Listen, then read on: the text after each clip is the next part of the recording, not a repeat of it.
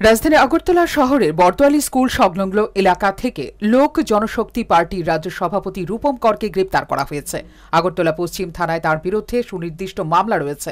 মঙ্গলবার সকালে রাজ্য অপরাধ দমন শাখার deputy police super Ajay Kumar Das এবং মামলার তদন্তকারী পুলিশ অফিসার ইন্সপেক্টর বেনুলাল কর এবং এসআই আশিস সরকারের নেতৃত্বে পুলিশ অভিযান চালিয়ে তাকে তার বাড়ি থেকে আটক করতে সক্ষম হয়েছে।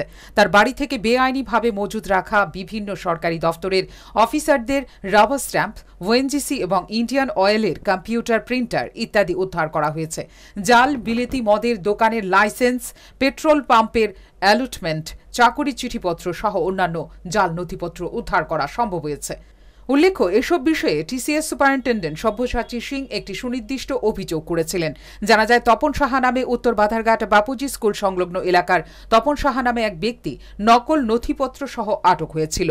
তাকে জিজ্ঞাসাবাদের পরেই জানা যায়, এই চক্রের মূল নায়ক জনশক্তি পার্টির রাজ্য সভাপতি রূপম কর।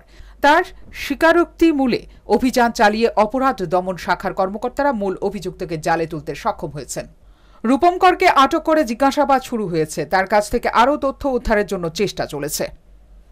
ফিওরি রিপোর্ট হাল্লা